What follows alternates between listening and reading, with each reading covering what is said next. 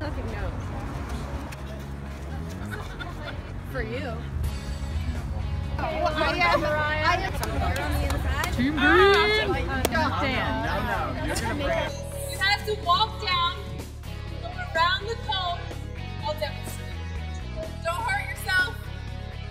Walk down, go around to the cone, walk back, and you have to tag the person. Can I put my arm out? Yes, you can put your arm out. Tag the person.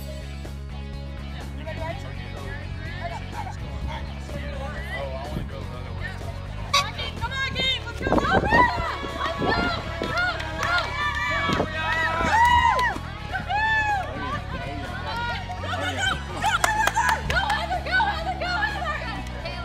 Go, go! Bad news, bad news, bad news.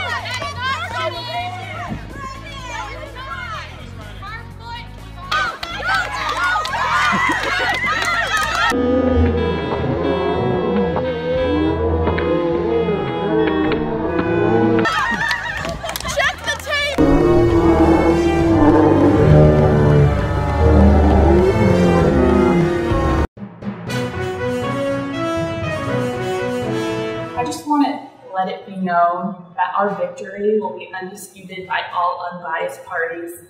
How are you feeling about the outcome of the race today? Hey, uh, we gave it our all. I'm happy with the effort, and um, we came back from two up. So I'm proud of my team, and uh, we'll be back at uh, training camp next week, and we'll get to work.